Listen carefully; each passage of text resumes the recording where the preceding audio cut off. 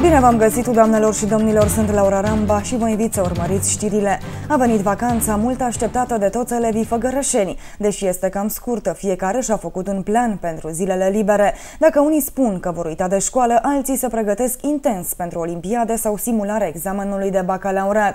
Și cei mai mici făgărășeni așteaptă vacanța, mai ales că de Paști vine iepurașul cu cadouri și ouă roșii.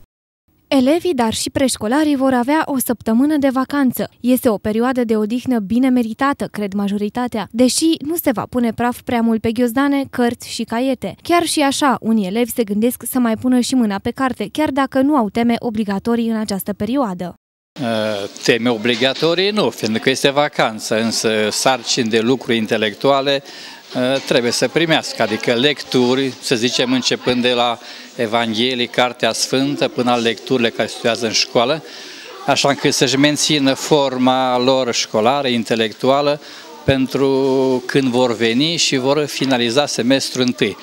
Oricum, dacă au primit de lucru, au primit să facă cu plăcere și să-și mențină tonusul intelectual școlar. Așa că le dorim uh, și în acest uh, sens vacanță plăcută și să se refacă bine. În vacanță cred că voi ieși pe afară pentru că vremea s-a încălzit și voi citi câteva cărți. Eu o să merg la bunici, acasă, prin, o să mă duc prin oraș.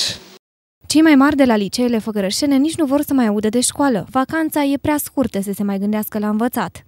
În primul rând, cred că vă, mă voi relaxa, pentru că asta e primul, prima chestie care o voi face și, în al doilea rând, cred că voi uh, încerca să, să uit de, de școală și, nu știu, să mă să intru în rând cu, cu temele, ca să nu pierd. În această vacanță o să mă pregătesc pentru Sfânta Sărbătoare, uh, cea mai mare sărbătoare a creștinilor și cu siguranță o să o ajut pe mama în casă să facă curat și bucate uh, tradiționale de Paști. Uh, de școală nu pot să zic prea multe pentru că nu o să prea mă ocup de școală în această vacanță. O să petrec alături de familie, și cei mai mici făgărășeni așteaptă vacanța, se vor plimba, se vor juca și în special de Paști îl vor aștepta pe iepuraș. Păpușă. Și mai ce? Uh, cadouri. Și ce faci tu în vacanță? Mă duc la bunică. Mă joc. Cu cine? Cu Maria. Și ce vrei să-ți aducă iepurașul? O păpușică.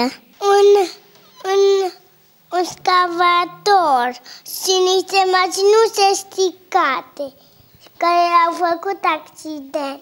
Mă joc cu vaiciorul meu Vavus. Și ce vrei să-ți aducă iepurașul? O păpușică pe iagăn, o, o mașină de pompieri. În schimb, mai sunt și elevi care nu se vor putea bucura prea mult de vacanță. În săptămâna mare sunt programate olimpiade naționale, așa că nu au încotro, trebuie să se pregătească. Iar alții învață pentru simularea examenului de bacalaureat, care va avea loc în unele instituții de învățământ din oraș, chiar în primele zile de școală.